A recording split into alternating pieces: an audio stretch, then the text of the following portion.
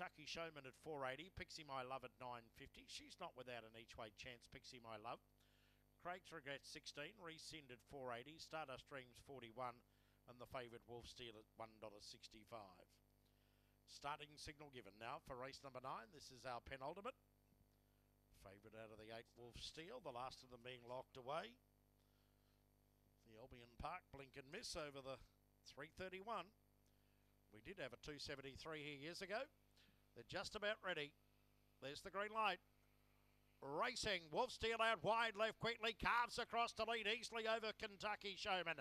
Third was Rescind, followed by Pixie My Love, Craig's Regret. Stardust Dreams at the tail of the field. Wolf Steel on the lure, got away down the side. Six in front of Kentucky Showman, followed by Rescind, but Wolf Steel is careering away, one by seven. Second Kentucky Showman, third Rescind, followed by Pixie My Love, Craig's Regret, Stardust Dreams, and on a rain affected track has run 18 and 90.